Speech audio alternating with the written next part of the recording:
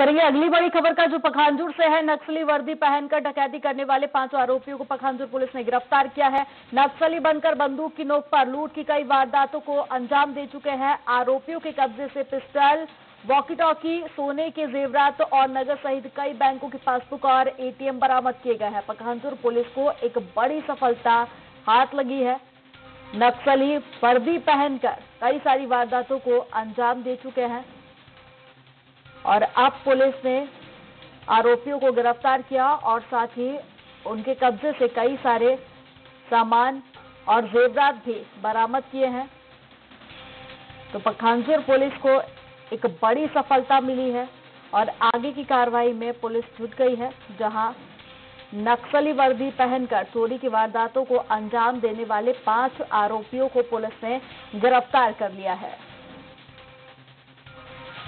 और इसी पर ज़्यादा जानकारी के लिए हमारे साथ में संवाददाता पवन जुड़ गए हैं। पवन, पाँच लोगों को गिरफ़्तार कर चुकी है पुलिस। पूछताछ में क्या कुछ निकलकर सामने आया है? क्या और भी इनके साथी हैं जो अभी फरार चल रहे हैं? जी, आपको बताना चाहूँगा, इनके कुल आठ साथी है, जिनमें से पाँच आरोपी गिरफ़्तार हो चुके हैं, तीन अभी भी फरार है। पुलिस तीनों तीनों की पता पे लगी है।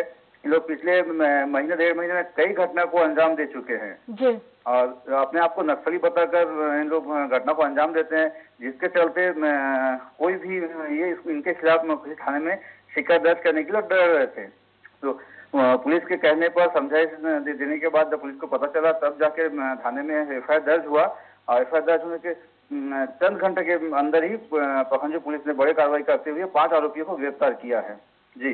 चलिए तमाम जानकारी साझा करने के लिए बहुत शुक्रिया।